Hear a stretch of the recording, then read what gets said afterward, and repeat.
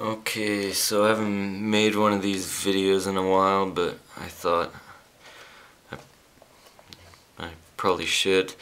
Anyway, uh, so I needed to build uh, three new DIs uh, for my mixer. So uh, one was the same DI I did before, same schematic, uh, but this one is a newer, newer version.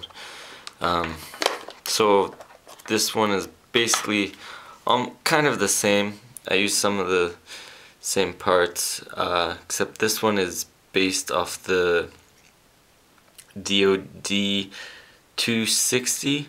So it uses center tap transistor, uh, which is actually probably a better design than the last one. I just housed it in one of these bins because they're easy to use and they're stackable which is good because it's a space saver.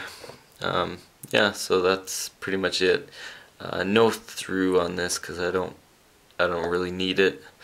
I could probably add it later if I do. Um, yeah so anyway no sound demo this time because you don't really need to hear it and you probably can't hear the difference anyway. Um, so yeah there it is center tap transistor uh, with uh, XLR out and ground lift switch. And yeah so it's pretty good um, yeah so that's that's basically it. Anyway peace